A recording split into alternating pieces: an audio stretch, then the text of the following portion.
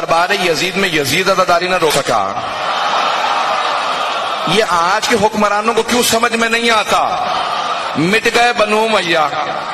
मिट गए बनी अब्बास। जब वो मिट गए तो आज के हुक्मरान कहाँ पे हैं? जो आजादारी से दुश्मनी करता है, वो हवाओं में फटके बिखर जाता है।